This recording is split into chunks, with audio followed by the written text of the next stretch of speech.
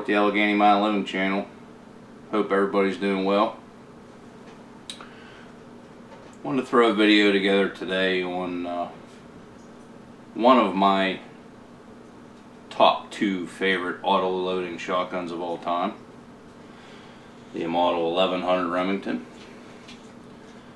It's a very beautiful gun as you can see.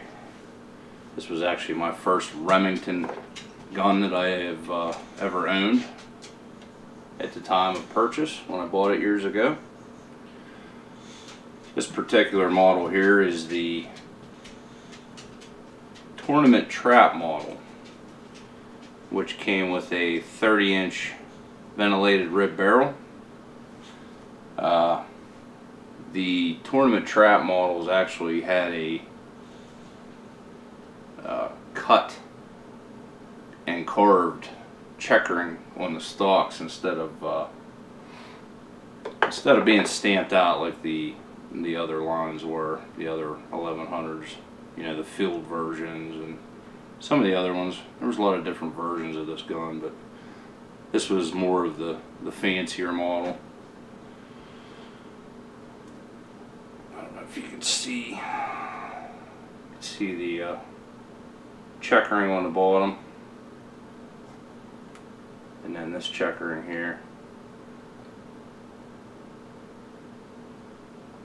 Classic white inlay. Oh it also came the tournament traps also had this type of uh, a recoil butt plate instead of just a plastic butt plate like the other ones had. And they have real nice engraving here. Chrome bolt with a little scroll work on it then on this side, you can see the scroll work and Remington model 1100. See the deep gloss finish. Very durable finish they put on these. These guns were put through all kinds of strenuous testing back when they were uh, making them and doing all their field testing and everything, but uh, gentleman by the name of uh, Wayne Leek designed this gun for Remington. They started production in 1963 on the model 1100, which uh, is still produced today. You can still buy a model 1100 and I believe you can actually buy a model, model tournament trap like this one. I think it might be a uh, model TB or it, it has it's a little different variation in the name you know so they could distinguish between the newer and old ones. Uh, the gun weighs around 8 pounds. They chambered these guns in 410, 28 gauge, 20 gauge, 16 gauge, and 12 gauge. It's a uh, gas operated recoil system, meaning the gas expelled by the cartridge actually throws the bolt back on it and chambers the next round. Which is uh, pretty neat. That also helps with recoil. This gun hardly kicks at all. It is a heavier gun, but due to the system that they put in place with the gas, the gas uh, operated system, it really absorbed and helped take away a lot of the recoil. So this this was a really really good gun. A lot of guys used this for shooting skeet and trap because you could you could pound the shells out on it and it didn't bother your shoulder at all. Um, it holds four and one in the chamber, five rounds, like most automatic shotguns. Like I said before, they used a uh, DuPont, DuPont finish on it. Uh, it's a very durable finish stands up well to greenbriers and other other things you may encounter out in the field or wherever. A lot better than a lot of the traditional finishes do on some of these older guns. Um, it was designed to be very durable and hold up for a long time, as well as this one did. This one here is a 1977 or 78, I believe. It some of the marks are hard to read on these to date them, but uh, it come back at a 77, 78. So it's an older one.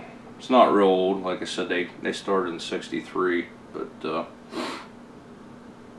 this was the successor to the model 58 and model 878, which were also a gas operated gun. Um, this was really the very first really reliable gas operated gun out on the market though.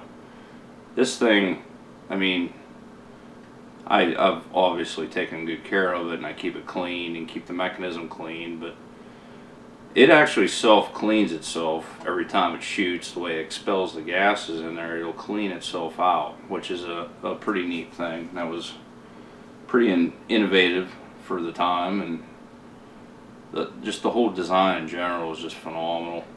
This was basically their their flagship for Remington for a long, long time. I mean, this this is what they were known by, you know, 1100 Remington, along with other guns, but this this really was a a staple for the company. Uh, really did well for them. A lot of the other uh, designs on the autos were more like uh, a recoil action, sort of like the Browning Auto 5s, Sweet 16s, where when you shot, the whole barrel actually moved back, which worked the action to cycle the gun, eject, and then elevate the shell into the chamber again, which was a really neat design too. And that's my other favorite auto-loading shotgun is the Browning Auto 5. Beautiful gun and uh, we'll do a video on one of those too here one of these days. Uh, we have one of those around also in a Sweet 16, Belgium made. That's a whole different video though. But these these two, this one and the Browning Auto 5. Uh, little history on the Auto 5. Before Browning was making it, Remington actually made, I believe it was a Model 11. Uh, I'm not sure why they didn't stick with it or run it, but uh, then another company I think picked it up and made it for a while, and then it went over to a company in Belgium, and they were making them for Browning. And that's who made the Auto 5 for many years, till it went to Japan and its uh, later later stages. But the uh, the Belgium ones are the the highly desired models. Um. I know they have sold over 4 million of these guns uh, as of now, which is phenomenal. Uh, this is the highest sold automatic shotgun in United States history. Um,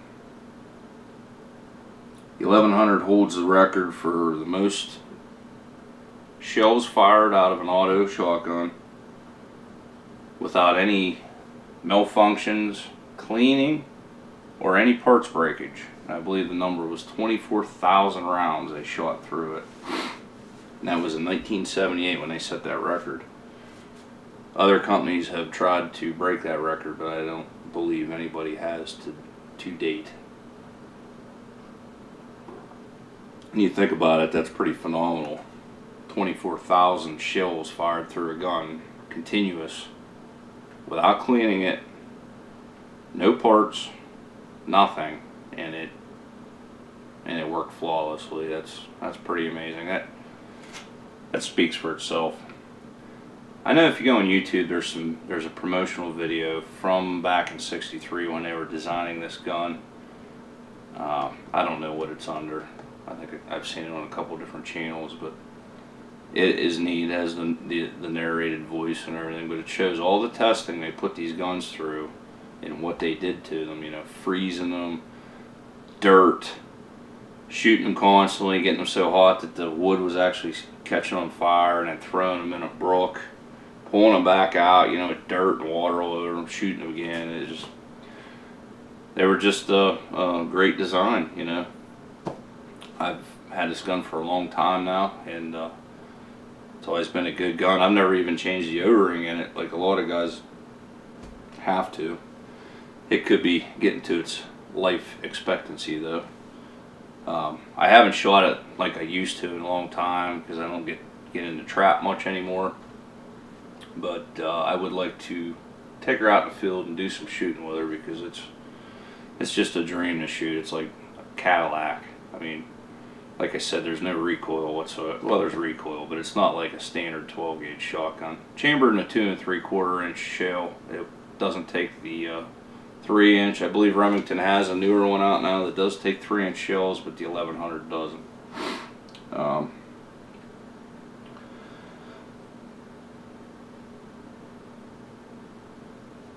Thirty inch barrel. I think I went over that with the trap model. Has the ivory front front uh, uh, dot sight, bead back here, double bead for lineup. It's just a dream to shoot trap with.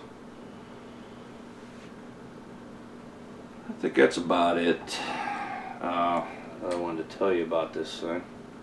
I just thought this gun's well worth the uh, time to make a video on it. Just a beautiful, beautiful gun.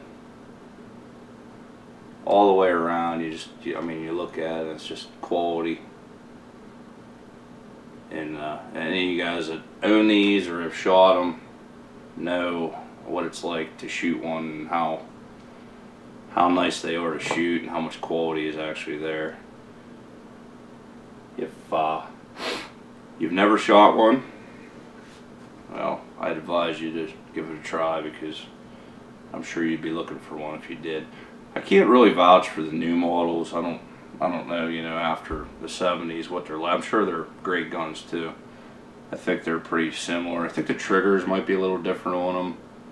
They have something sort of like maybe the AccuTrigger for Savages, like a guard type deal that you pull in prematurely before the trigger goes in. But I don't think they've changed much on them. Um, if it isn't broke, don't fix it. You know, why change something that's perfect? But that's about all I wanted to say for this one. Beautiful old gun. I love the old shotguns.